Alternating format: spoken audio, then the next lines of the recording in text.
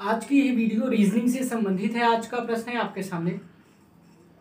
मैं उत्तर की ओर पंद्रह मीटर गया, फिर पश्चिम की ओर मुड़कर दस मीटर चला, फिर दक्षिण की ओर मुड़कर पाँच मीटर चला और फिर पूर्व की ओर मुड़कर दस मीटर चला। बताएँ कि मैं अपने घर से किस दिशा में हूँ?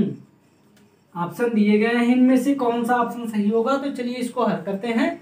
चैनल पर नया आए हैं, अभी तक सब्सक्राइब नहीं किए हैं तो कर लीजिएगा, क्योंकि हमारे चैनल पर अच्छी नॉलेज नॉलेजफुल वीडियोज़ प्रतिदिन अपलोड करी जाती हैं।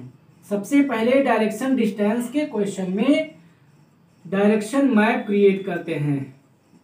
और डायरेक्शन मैप क्रिएट करते हैं तो जितना समय हमारा क्वेश्चन लगाने में जाता है, वो गड़बड़ नहीं जाता है, बिल्कुल सही जाता है। ठीक? अब मैं उत्तर की ओर, उत्तर की ओर का मतलब ऊपर की तरफ़। ठीक, यहाँ से चला। पंद्रह मीटर। ठीक, पंद्रह मीटर। फिर पश्चिम की ओर मुड़कर दस मीटर चला। पश्चिम का मतलब इधर। कितना चला? दस मीटर। ठीक और फिर दक्षिण की ओर मुड़कर पाँच मीटर चला। और फिर पूर्व की ओर मुड़कर, पूर्व का मतलब इधर, ठीक? पूर्व की ओर मुड़कर जो है, दस मीटर चला।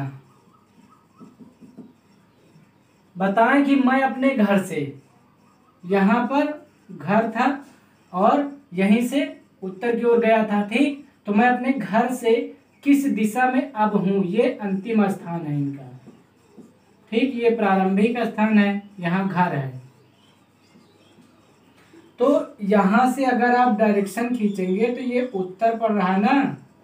तो उत्तर दिशा में हूँ, ठीक है? मैं अपने घर से उत्तर दिशा में हूँ।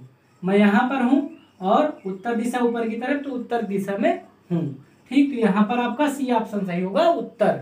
आई होप कि आपके समझ में आ गया होगा। आज की इस वीडियो में बस इतना ही। चैनल पर नए आए हैं, अभी तक सब्सक्राइब नहीं किए हैं तो कर लीजिएगा, क्योंकि हमारे चैनल पर ऐसी नॉलेज वीडियोज़ प्रतिदिन अपलोड करी जाती हैं।